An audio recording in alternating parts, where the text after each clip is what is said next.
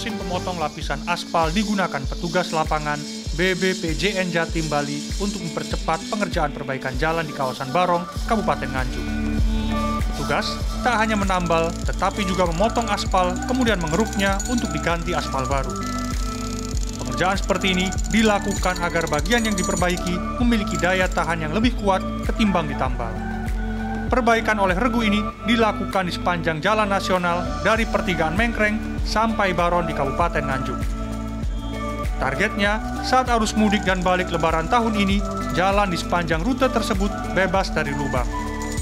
Petugas berkejaran pula dengan hujan yang membuat proses pengerjaan terhambat.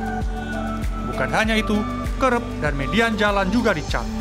Pengerjaan ini dilakukan setiap hari dengan target 1 sampai 1,5 km. Saking kusamnya akibat debu, petugas sampai harus menggosoknya sebelum mengecat. Kerep ini merupakan bagian yang lebih tinggi yang menjadi pembatas dari lapisan aspal jalan. Pengecatan juga berkaitan dengan keamanan berkendara. Tujuan pengecatan kerep ini, kerep dan median, agar tampak jelas dilihat pengendara, pengguna jalan itu antara pembatas aspal dan kerep. Uh, demikian pula dengan median, median tengah juga demikian, kelihatan jelas bahwa itu median kelihatan putih, apalagi kalau malam hari. Malam hari itu kesinar kena lampu itu akan menyala. Jalur tengah di Jawa Timur ini menjadi rute bagi pemudik lokal dan jarak menengah. Salah satu bagiannya adalah pertigaan Mengkreng. Pertigaan ini menghubungkan antara Jombang, Kediri, dan Nganjuk. Lihat saja, jalur tersebut dilintasi berbagai ukuran kendaraan, mulai sepeda motor, mobil, bus, sampai truk berukuran besar.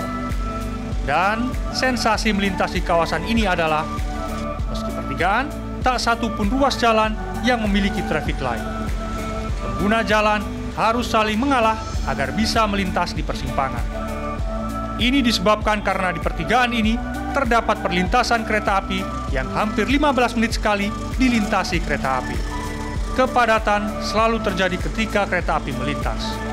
Seperti yang ada di Mengkreng sendiri, kita melibatkan 15 personel dalam satu kali jaga piket jaga. Tapi kita juga imbangi juga uh, ada tim urai yang siap membantu apabila kemacetan itu terjadi di sekitaran wilayah uh, Kediri. Jadi ketika di Mengkreng kita maksimalkan personel yang berjaga, kemudian ada kemacetan lain yang berimbas dari Mengkreng ini, kita menyediakan tim urai untuk mengurai. Firdaus mengungkapkan, karena simpang tiga Mengkreng menghubungkan beberapa kabupaten, ia sudah berkoordinasi dengan tiga Polres yakni Nganjuk, Kediri, dan Jombang. Pengalihan arus ke arah Papar Kediri menjadi opsi ketika terjadi kepadatan lebih dari satu km. Firdaus mengatakan, volume kendaraan di masa arus mudik nanti diprediksi naik 18 persen. Mirta Farid, Andras Wicaksono, Kediri, Jawa Timur.